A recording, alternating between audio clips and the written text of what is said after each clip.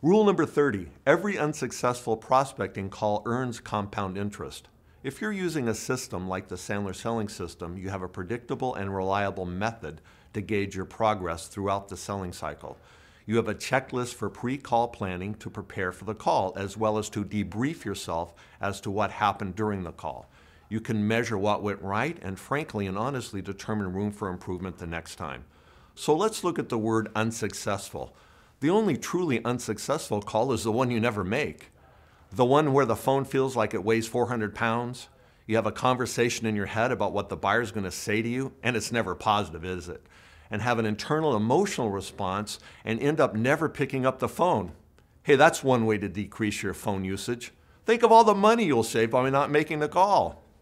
All right, let's take a look at the five allowable outcomes of a sales call. Number one, you could get a yes. Oh, and by the way, the check still has to clear, and we certainly love those yeses.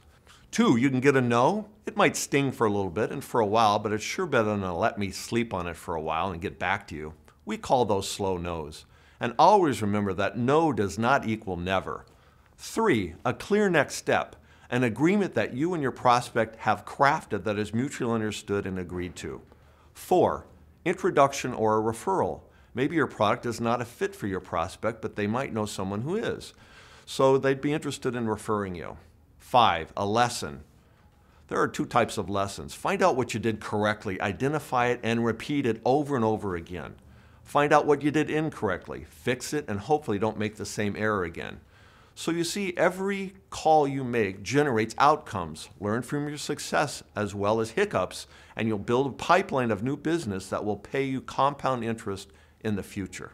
This rule and all the Sandler rules you are learning will only benefit you if you put them into action. Build them into your daily behaviors, attitudes, and techniques.